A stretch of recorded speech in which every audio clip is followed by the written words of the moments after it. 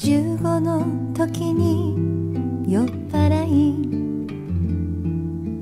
親父に原稿で殴られた。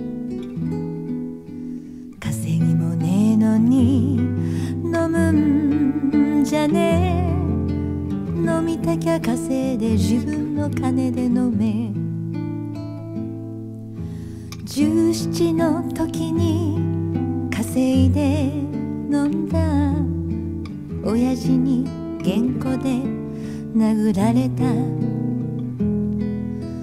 稼いだ全部を飲むんじゃね。え少しは残しておふくろ喜ばせ。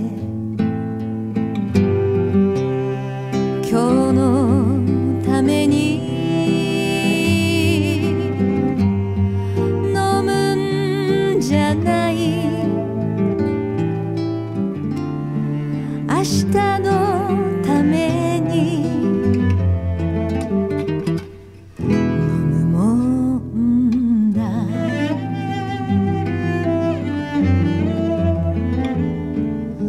19の時におふくろと飲んだ。親父に原稿で殴られた。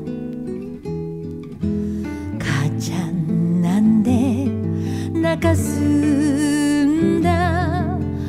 親孝行の真似して飲むんじゃね。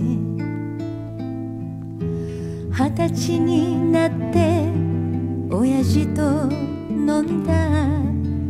親父にまた原稿で殴られた。親より先に酔っ払いやがって。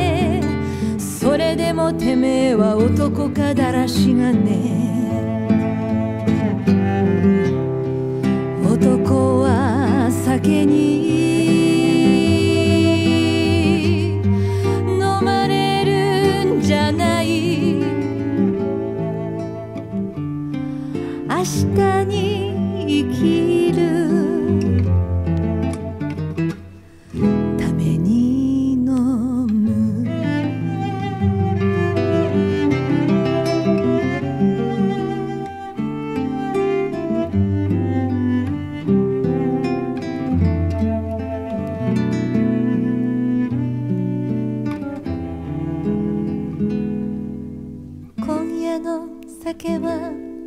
親父の酒だ。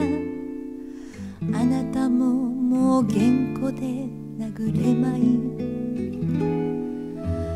親父の写真に黒いリボン。初めてあなたの笑顔の前で飲む。